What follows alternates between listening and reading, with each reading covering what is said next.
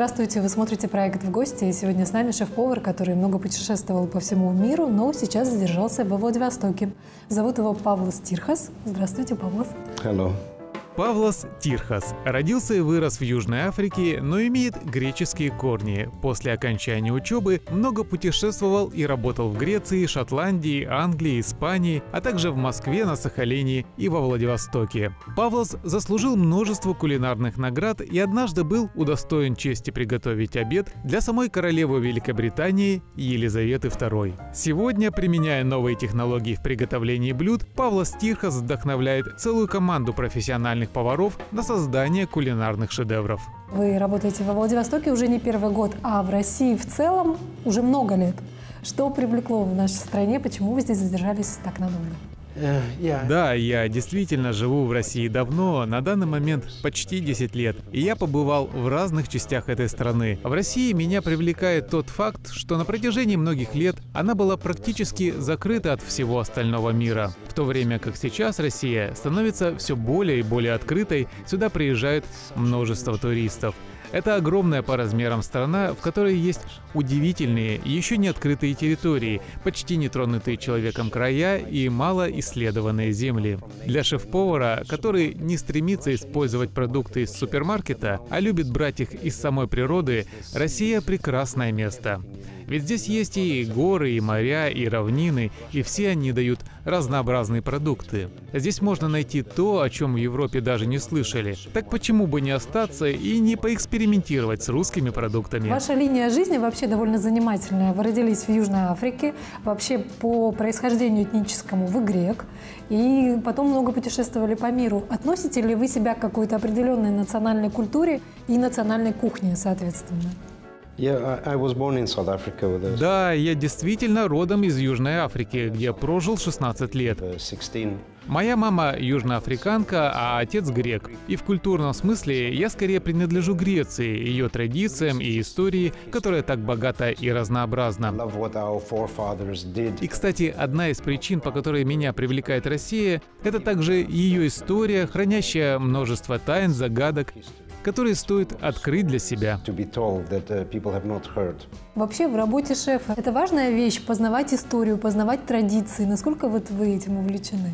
Вообще, для меня шеф-повар — это не работа, а прежде всего страсть. Страсть к познанию, к экспериментам, страсть к еде и тому, чтобы радовать своих гостей. Далеко не каждый может стать шеф-поваром. У нас долгий рабочий день, мы всегда загружены работой в праздники, это действительно тяжелый труд. Но если у тебя есть страсть к этому, то слово «работа» тут уже вычеркивается и остается любимое дело, которому не жалко отдавать все свое сердце и душу. Причем речь не только о том, чтобы радовать гостей твоего ресторана. То же самое происходит и дома. Если ты начинаешь готовить, то делаешь это с любовью всегда и везде. А если возвращаться к началу, что способствовало появлению этой страсти у вас? Какая-то семейная традиция или вы первое поколение, кто стал шефом? Почему?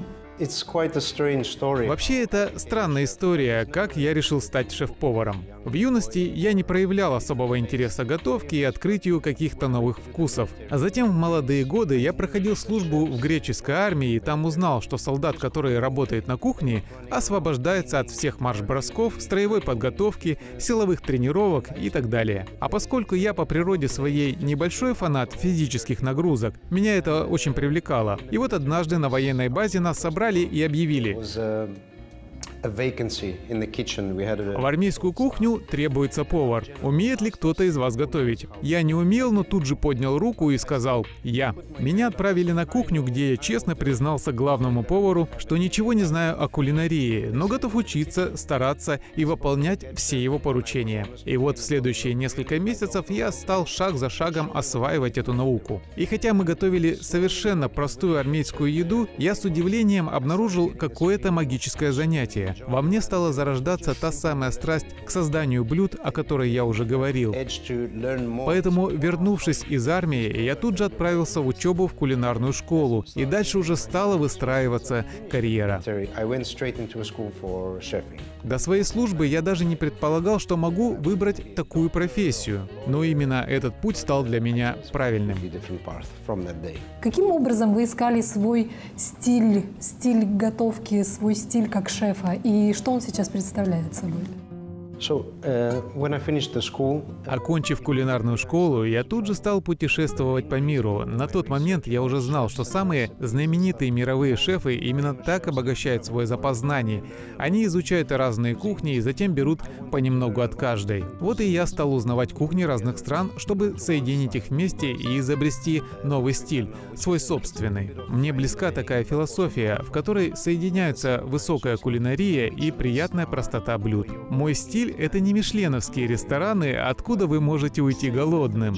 Ведь главное там создать необычное ощущение, а не накормить гостей. Мой подход — это блюдо, которое имеет яркий вкус, красивый вид и соответствующий размер.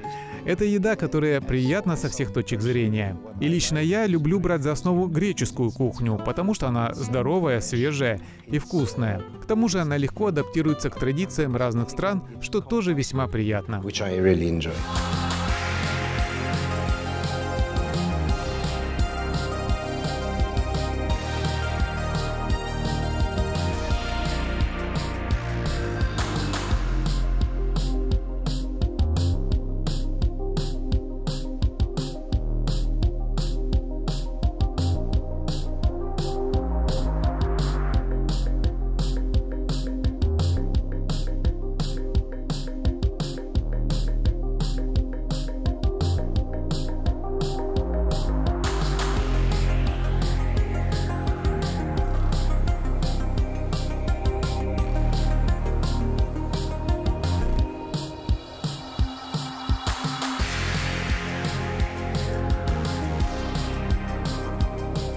Еще у меня такой вопрос. Ведь шеф – это не только взаимоотношения с едой и с продуктами, это еще некий менеджмент на кухне, выстраивание отношений со всей своей командой. Что вы делаете для того, чтобы максимально их вдохновить на хорошую работу? In the kitchen, На кухне твоя команда – это твоя правая рука. Без нее ты никогда не добьешься желаемого результата. На моей кухне я практикую разные подходы к своим поварам, но никогда не кричу и не позволяю себе грубости. Я стараюсь донести до моих шефов, как важно все время узнавать новое. Я стараюсь быть ближе к ним, обучать их и объяснять, что чем больше навыков они получают, тем лучшее будущее они себе обеспечивают. Я также вижу, что они любят то, чем занимаются, и не отсчитывают часы до конца рабочего дня. Моя команда — это люди, у которых есть страсть к своему делу, и это самое главное. Ну а я, в свою очередь, стараюсь их вдохновлять и делюсь своим опытом с молодым поколением. Даже на примере Владивостока мы видим, как стремительно развивается ресторанный бизнес.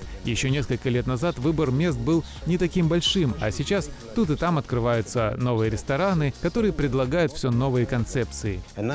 restaurant, restaurant. Мои ребята видят эту динамику и понимают, как важно учиться и постоянно оставаться актуальным. Да, мы по-настоящему увлеченные люди. It's working. It's working. Я знаю, что в вашей жизни был эпизод, когда вы готовили для королевы Елизаветы. Обед или ужин, уж не знаю что. Можете поделиться этим опытом? It was a one-time experience in my Да, это был единственный, но очень необычный для меня опыт. and I used to work on the biggest rail. Я тогда работал в Шотландии. Там есть крупнейшая в стране железная дорога, по которой курсируют поезда первого класса. Каждом из них работает свой шеф-повар, который готовит для состоятельных туристов. И вот однажды там запускали новый поезд под названием «Малард». На тот момент он был самым быстрым и самым роскошным из всех. Uh, И вот когда стало известно, что в первый маршрут на поезде отправится королева Великобритании Елизавета II, стали выбирать, кому из шефов доверить обслуживание этой поездки. Желающих было много, и в Шотландии даже устроили национальный кулинарный конкурс по этому поводу. Я тоже принял в нем участие, победил и получил такую привилегию. uh, Надо сказать, что я готовил не только для королевы, но и для премьер-министра Тони Блэра и еще целого ряда знаменитостей. В общем, это было действительно забавно. Если говорить о вкусовых предпочтениях гостей здесь, во Владивостоке, можно ли говорить э, о неких пристрастиях? Что в большей степени выбирают ваши гости здесь, в ресторане? That Предпочтение людей в России очень зависит от региона. Что касается Сахалина и Владивостока, здесь на первом месте морепродукты. Дальневосточники обожают крабов, устриц, мидий, гребешков и прочие дары моря. Это здорово, потому что здесь такие продукты очень свежие, их ловят по всему региону. Это здоровая и изумительно вкусная пища. Так что повару даже не нужно слишком изощряться в приготовлении. Главное не испортить прекрасный естественный вкус морепродуктов. But yeah, the Russians love the seafood. Есть ли какая-то конечная точка в карьере, к которой вы стремитесь прийти, скажем, через 20-30 лет? Есть ли какое-то видение того, каким вы видите вот свое будущее? Well, in 20, 30 years' time, I'm Хотелось бы через 30 лет сидеть на красивой веранде, наслаждаться видом и смотреть, как вокруг меня бегают многочисленные внуки. Что касается развития карьеры, мне уже сейчас удалось воплотить свои цели – стать шеф-поваром в крупном отеле. Можно сказать, что я нахожусь в своей зоне комфорта. Я работаю здесь уже четыре с половиной года и очень люблю то, чем занимаюсь. Пожалуй, сейчас я больше сфокусирован на том, чтобы как можно лучше обучить своих коллег и подготовить новое поколение отличных поваров. Кстати, я знаю, что сюда вы приглашаете даже студентов, которые обучаются кулинарному мастерству. Вот почему у вас возникает такое желание обучать людей практически с нуля? I like to recruit if Мне нравится брать на работу студентов и нравится давать им возможность попробовать себя в реальном деле. Обучаясь в кулинарной школе, ты осваиваешь основы, не спеша выполняешь задания, но совершенно не получаешь представления о том, как это работает на практике, какой высокий темп приходится выдерживать у плиты. Потом ты заканчиваешь школу, приходишь на профессиональную кухню, и все меняется кардинально. Ты видишь совсем другое отношение и почти армейскую дисциплину, которой нужно следовать. Я стараюсь брать студентов уже на первом году обучения, чтобы окунуть их в реальную работу. На этом опыте очень быстро становится понятно, кому действительно стоит работать шефом, кто находит удовольствие и страсть в этом деле, а кому не под силу выдержать такой темп, напряжение и уровень стресса. Мне не хочется, чтобы человек потратил на обучение 3-4 года своей жизни, а потом пришел на кухню и понял, что совершил огромную ошибку. Побывав на одной из наших кухонь, он очень быстро может разобраться, для него ли это стихия. Ведь если работа шеф-поваром не для тебя, никогда не поздно изменить свои карьерные планы и пойти по другому пути. Быть шефом – нелегкое дело, но если ты действительно это любишь, все получится. but again, if you love it, you can do it. Этим советом, думаю, можем закончить наш разговор. Спасибо, что были у нас в гостях. Спасибо, было приятно побеседовать.